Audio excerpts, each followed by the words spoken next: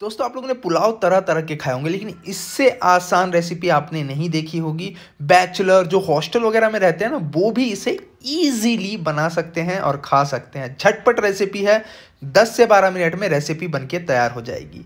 तो वीडियो में अंत तक रहिएगा इस मसाला पुलाव के लिए, ठीक है?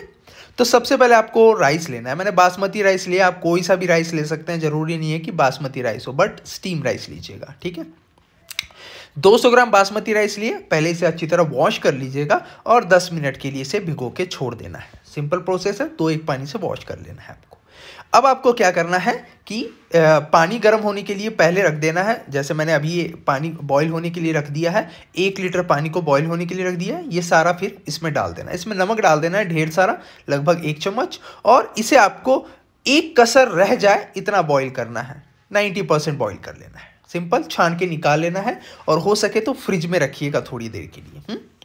अब एक कढ़ाई में आपको तीन बड़े चम्मच ऑयल आधा चम्मच अदरक लहसुन का पेस्ट इसे 20 से 30 सेकंड तक हम अदरक लहसुन के पेस्ट को इसमें भूनेंगे ठीक है अब सब्ज़ियाँ हैं मेरे पास अब देख लीजिए मैंने गाजर तीन चम्मच तीन चम्मच प्याज लिया है ये गोभी है आ, कद्दूकस करके ले लिया है, तीन चम्मच, दो से तीन हरी मिर्च, एक टमाटर ले लिया है, चार चम्मच शिमला मिर्च ले ली है, साथ ही साथ मटर, चार से पाँच चम्मच ले लिया है।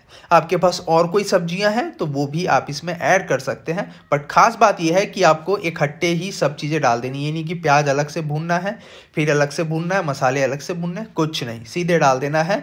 दो से दो मिनट आप इसे पका लीजिएगा, हाई फ्लेम पे फिर आपको इसमें ड्राई मसाले ऐड करने हैं, सूखे मसाले, सूखे मतलब पाउडर वाले। आधा चम्मच धनिया पाउडर दो चुटकी गरम मसाला और दो चुटकी हल्दी पाउडर डाल देना है।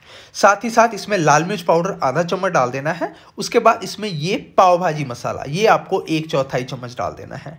साथ ही साथ हम इसमें स्वाद अनुसार नमक ऐड कर देंगे। नमक थोड़ा कम ही डालिएगा क्योंकि हमने राइस में नमक पहले ही डाला है।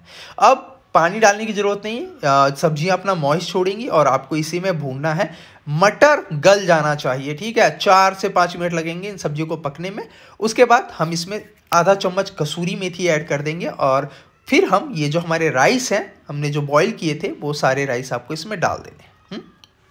अगर आपके पास बचा हुआ राइस है तो वो भी बेस्ट है इस पुलाव के लिए। अच्छी तरह मिलाते हुए पकाएँगे और एक से दो मिनट में ये अच्छी तरह मतलब मसाले में राइस मिल जाएँगे, उसके बाद हम इसके ऊपर हरा धनिया थोड़ा सा डाल देंगे और फिर से आपको एक मिनट तक इसे पका लेना है। है ना? एकदम आसान रेसिपी कोई भी बना सकता है, बच्चा भी बना सकता है और ठूंस तो सकते ही हैं। तो आप लोग ज़रूर इसे ट्राई कीजिएगा, बहुत अच्छी रेसिपी है।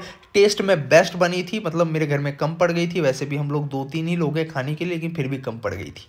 ठीक है? तो ज़रूर बनाइएगा और अपने एक्सपीरियंस शेयर कीजिएगा और मैं फ़िलहाल इसे ठूंस लेता हूँ। वीडियो अच्छी लगे तो लाइक और शेयर करके जाइएगा। Thank you so much for watching